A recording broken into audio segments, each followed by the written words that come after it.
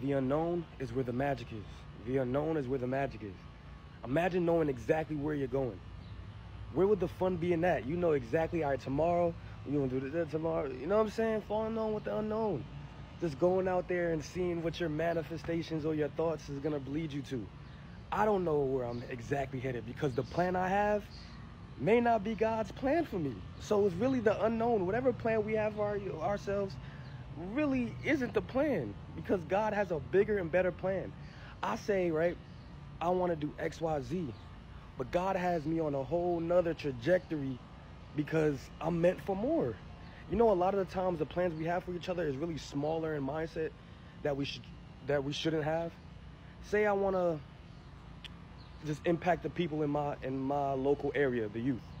God wants you to impact the world.